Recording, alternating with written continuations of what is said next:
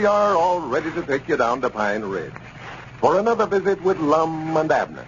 Brought to you by the makers of Horlicks, the original malted milk. Before we go any further, I'd like to explain why Horlicks malted milk is so universally recommended as a food for growing children. For one thing, Horlicks is rich in calcium and phosphorus and the other minerals essential for the building of strong bones and sound, healthy teeth. That's one reason why so many medical and child feeding authorities say that Horlicks should be a part of every youngster's diet. Then again, Horlicks is a fine source of vitamins. Vitamins that build husky bodies. Vitamins that help set up a resistance to infection. And, last but not least, Horlicks is especially easy to digest. The young, delicate digestive system can handle Horlicks so much easier than ordinary milk. Get some Horlicks for those youngsters of yours. You can't do anything better for them. Your druggist has it, you know, in both natural and chocolate flavors. Children like them both. And now, let's see what's happening down in Pine Ridge. Well, Lum and Abner learned yesterday that Grandpappy Spears was responsible for getting their money back from Squire Skimp on the fake diamond deal. And they've given the old fellow a permanent position in their Jot 'em Down store as a reward.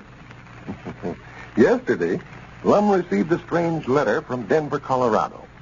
And as we look in on Pine Ridge today, we find Dick Huddleston over at the Jot 'em Down store explaining it to Lum. Listen.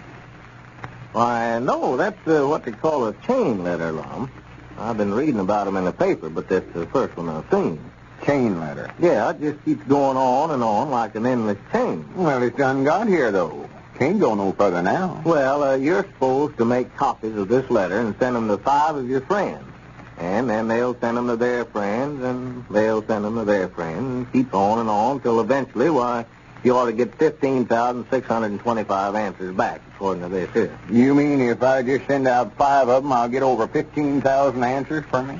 Well, that's the idea of it. If nobody breaks the chain, you will. And every one of them's supposed to have a dime in them, huh? Yeah, they're supposed to. If they all sent in, why, you'd get uh, uh, $1,562.50. And, and all it cost me is just 10 cents, huh? Yeah, yeah, all you're supposed to do is just send a dime to the name on the top of that list. Uh, Granny, that looks like a good proposition to me. I'm going to get busy on that.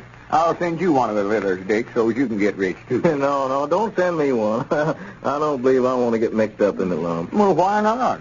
Granny, just cost you a dime, and you make over $1,500 out of Yeah, it. well, you send them to somebody else, Lum. It sounds good and all that, but I've always figured a man's got to work for what he gets.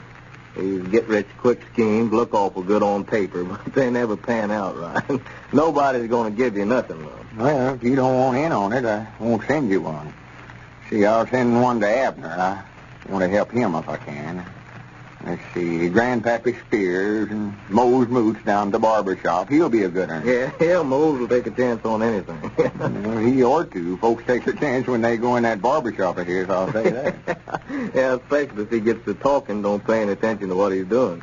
Yeah, I got a shave down there the other day, and my face has been burning like fire ever since. Well, I won't let him shave me anymore. I'll stop. Well, I never aimed to let him shave me, neither. I just sitting there in the barber chair listening to the Macmillan boys play the mouth organ guitar and just dropped off to sleep. And when I woke up, he had me shaved and charged me ten cents for it. This'll give me a chance to get that dime back off of it. Well, I don't see how in the world that you ever slept through him give me a shave, Lum. Well, I don't neither. He must have chloroformed me to do it, I think. well, uh, a fella needs an anesthetic all right when he shaves.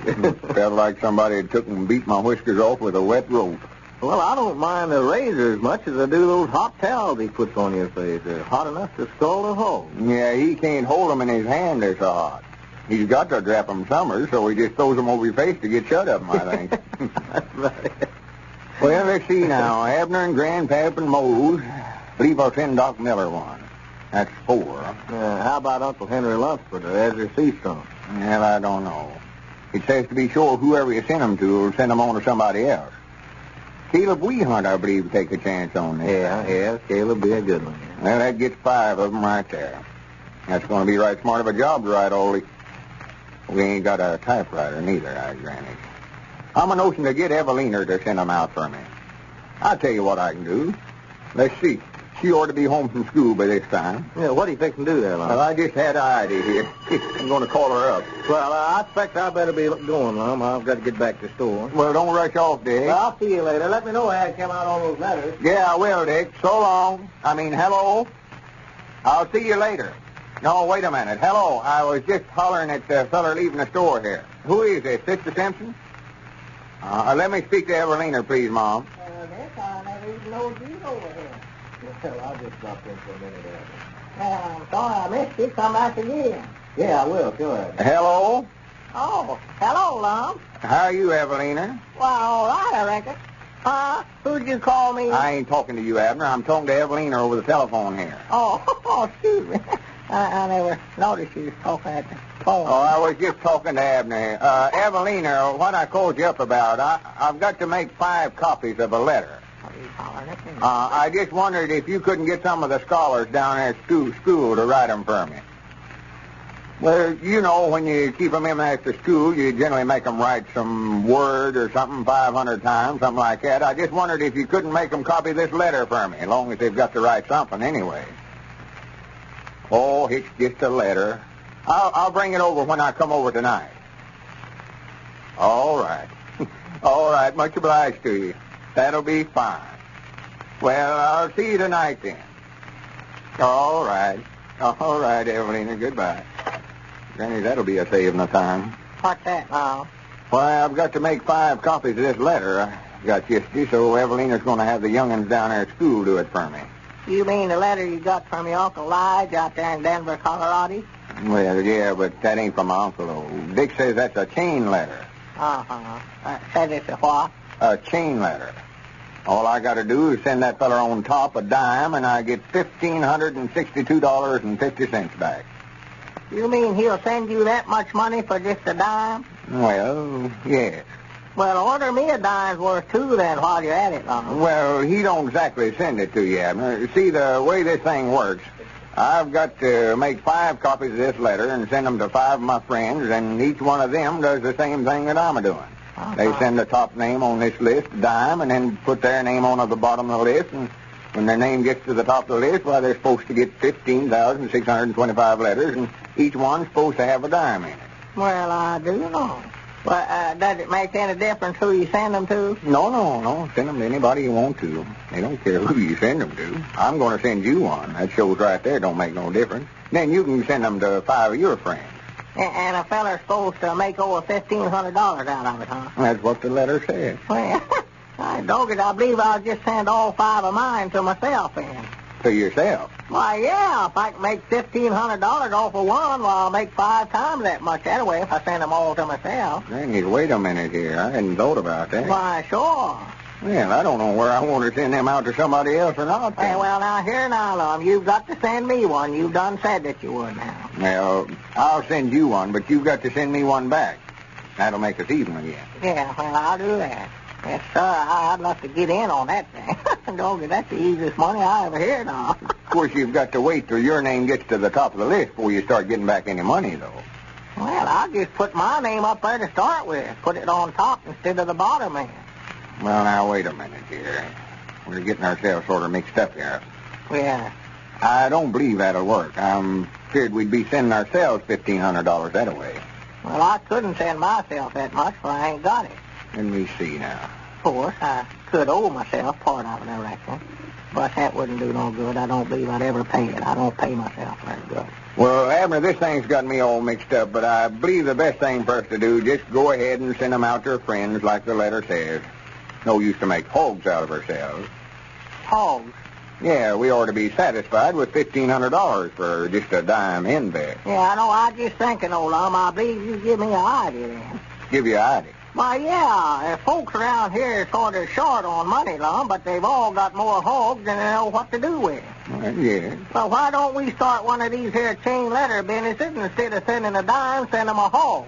Send hogs? Yes, sir. We, we could get that many hogs back to the dimes that way. Granny, wait a minute here. Now you have thought of something. Why, sure. you know how many hogs we'd get out of that? Fifteen thousand six hundred and twenty-five. For the land sake. And they ought to average up, uh, razorbacks and all, they ought to bring three dollars apiece. Oh, there do that. That'd be forty-five thousand dollars worth of hogs. Forty-five thousand. Yeah, hand me that letter there. Uh. Uh, Granny's me and you starting a hog chain letter right now.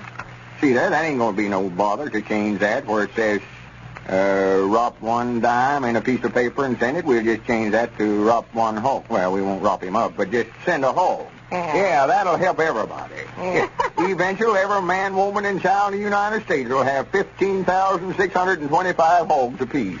Well, now, wait a minute, now. Where in the world will they all come from now? I, I never knowed there was that many hogs. Well, I don't know about that. They just have to get 'em somewhere.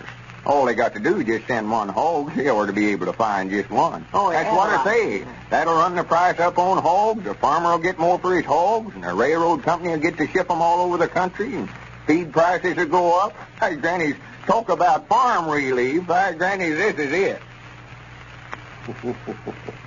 well, maybe a great idea, but we just hope we don't get one of those chain letters. 15,625 is a whole lot of hogs. Well, it's afternoon recess period at the Byford Grade School. Two teachers are talking. Listen. Thank goodness, Anne. Only one hour more. What's the matter, Mary? Tired? No, I'm all right. I'm so hungry, though. Nearly starved. Oh, didn't you have any lunch? Sure. But I always get hungry around this time of day, don't you? I used to. Used to? what do you do? Eat more lunch now? At my weight? Not I. What's the secret, then? Just a minute. I'll show you. Hmm, what is it? Here we are. These tablets. Have a couple. Candy, eh? No, thanks.